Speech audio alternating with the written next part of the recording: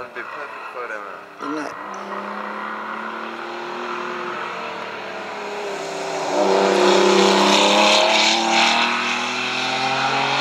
Next to the line is Phil, Cut- Phil Cuthbert in the bug eye.